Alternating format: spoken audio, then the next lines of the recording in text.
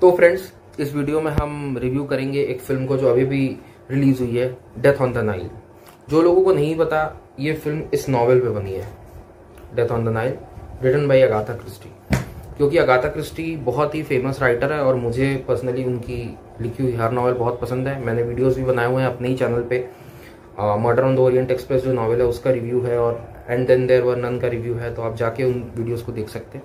So death on the Nile जो है ना ये एक मैं कह सकता हूँ एबव एवरेज फ़िल्म है। वो बहुत ही कोई आउटस्टैंडिंग फ़िल्म मुझे ये फ़िल्म नहीं लगी। हालाँकि आपके पास अगाथा क्रिस्टी जैसी राइटर थी तो आप इसको कुछ बहुत ज़बरदस्त बना सकते थे उस नॉवल पे अगर ये बे, बेस थे। तो सीधे हम बात करते हैं इस फ़िल्म की अगर स्टार कास्ट के बारे में तो स्टार कास्ट में है आपके पास गैल गडोट हमारी वंडर वुमेन और कैनेथ ब्राना है जो murder on the Orient Express में भी थे। यही बने थे हरकुल पैरो डेथ ऑन द नाइल जो है murder on the Orient Express की एक तरह से आप कह सकते हैं सीक्वल है। क्योंकि जैसी वो फ़िल्म खत्म हुई थी, उनको हरक्यूल पैरो को एक इन्फॉर्मेशन आता है कि नाइल में एक केस आया है करके। सो ये उसका सेकंड पार्ट है, आप कह सकते हो। हालाँकि बहुत डिफरेंट है स्टोरीज क्योंकि पूरी अलग नॉवल पे ही बना हुआ ये। बट हाँ सो कैनथ ब्राना वही, जो हरक्यूल पैरो बने हैं, और है इसमें हमारे गुड्डू भैया।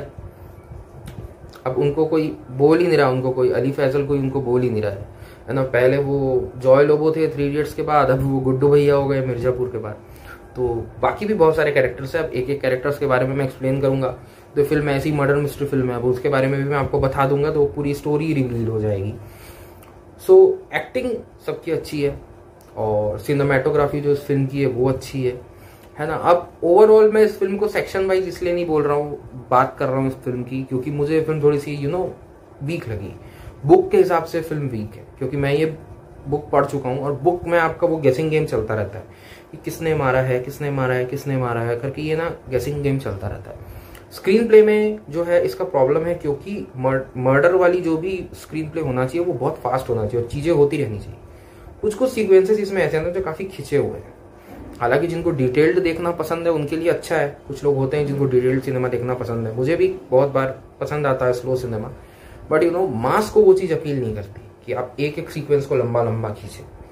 और आप ये भी बोल सकते हो कि जो भी थोड़ा अच्छे से देखेगा ना फ़िल्म को, उसको बहुत जल्दी पता चल जाएगा कि ये जो किलर है, ये कौन है। उनकी चीज़ों को देख वेख के, उनके बिहेवियर को देख वेख के। हालाँकि बुक और इसके बीच में कितनी ज़्यादा सिमिलैरिटीज़ है, ये डिससिमिलैरिटीज़ है, मैं आपको नहीं बताऊँगा। क्योंकि आप वो फ़िल्म देखिए, क्योंकि अगर आप बुक पढ़ ली होगे तो फिर आप ऐसा सोचोगे कि यार, इसने तो बता दिया तो यही होने वाला है। सिमिलैरिटीज़ है या डिससिमिलैरिटीज़ है वो मैं आपको नहीं बताऊँगा। प्लस पॉइंट अगर हम बोले तो इसका प्लस पॉइंट जो है वो इसकी एक्टिंग ही है। जैसे गैल गडोट की एक्टिंग बहुत अच्छी है, जो रिच एक वुमेन बनी है, वो एक रिच वुमेन लग रही है।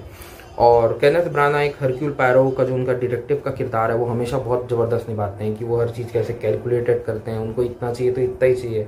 वो एक कैरेक्टर को हमको देखने में थोड़ा सा मज़ा आता है। और अली फैजल जी को जितना रोल दिया गया है हमारे गुड्डू भैया को और वो क्या रोल है, कैसा रोल है कितना रोल है उसके बारे में आपको बताऊँगा तो आपका मज़ा थोड़ा होगा किरकिरा। बट जितना रोल उनको दिया गया जो रोल उनको दिया गया ना वो उन्होंने अच्छे से किया है और आपको मज़ा आएगा उनको भी देखने में। सो so, एक्टिंग जो है इस फ़िल्म का मैं कह सकता हूँ प्लस पॉइंट है और सिनेमाटोग्राफी इस फ़िल्म का प्लस पॉइंट है क्योंकि जो यॉट दिखाया गया है जो डेजर्ट के सीन है और कुछ कुछ ऐसे सीक्वेंसेस हैं जो कि बहुत ब्यूटीफुली शूट किए गए हैं जो वाटर के जो सारे सीक्वेंसेस है जो नाइल रिवर को जो दिखाया गया है सो कमाल है वो सारी चीज़ें। बहुत रिच दिखती है ये फ़िल्म जैसे कि murder on the Orient Express का भाई, यही सबसे बड़ा खासियत था कि सिनेमाटोग्राफी बहुत अच्छी थी। तो इसका भी सिनेमाटोग्राफी बहुत अच्छा है। तो आप इस फ़िल्म को ज़रूर देखिए, अगर आपको मर्डर मिस्ट्री पसंद है तो बहुत ज़्यादा एक्सपेक्टेशन के साथ जाओगे तो हो सकता है आप डिसअपॉइंट हो। हालाँकि जितना बज इस फ़िल्म को होना चाहिए था, मुझे लग रहा था बट उतना बज है नहीं इस फ़िल्म का।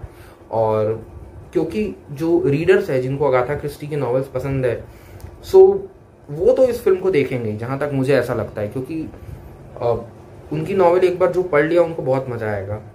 सो आई थिंक नॉवेल जैसे इस फ़िल्म को बनानी चाहिए थी और बहुत कुछ अच्छा कर सकते थे इस फ़िल्म में मेरे हिसाब से क्योंकि उनके पास अगर आप उनकी नॉवेल देखो द मूविंग फिंगर है फाइव लिटिल पिक्स है खैर मैं उनकी बात करूँगा तो फिर मैं वही बात करना शुरू कर दूँगा एक के बाद एक नॉवेल की।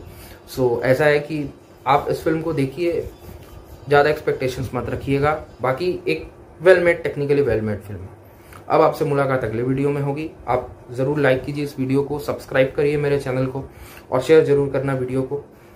तब तक के लिए बाय बाय